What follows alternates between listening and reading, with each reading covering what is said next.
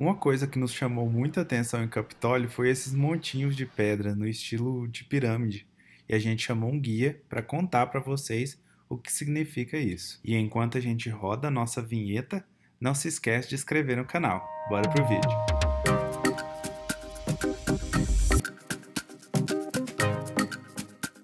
Olá gente, boa tarde. É, para quem não conhece, aqui chama pirâmide.